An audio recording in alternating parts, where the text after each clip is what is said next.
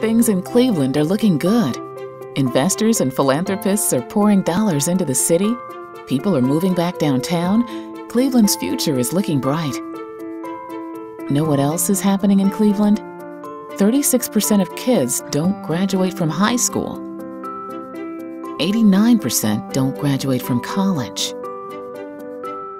That's nearly 50,000 kids that we, as a city, are failing. That's not so bright. That's a crisis, one that hits kids the hardest. Fortunately, a diverse coalition in Cleveland has come together to put kids first.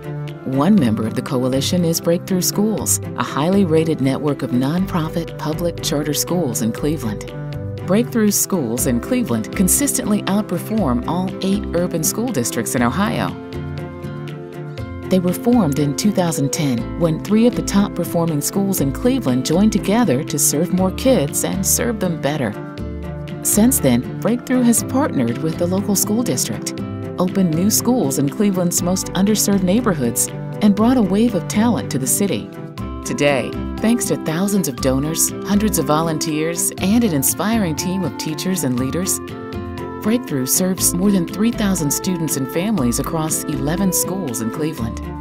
As part of the citywide plan to put kids first, Breakthrough's goal is to serve 7,000 kids at 20 schools by 2020, and they need your help to do it.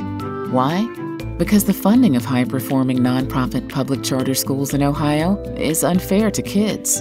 Unlike district schools, public charter schools receive virtually no funding for their school buildings. And per student, public charter schools like Breakthrough receive less than two thirds of the funding of a typical district school. These children aren't worth less. Despite these funding challenges, Breakthrough is committed to setting up Cleveland students for success. They believe every child is worth it and deserves access to a great, free education. Do you?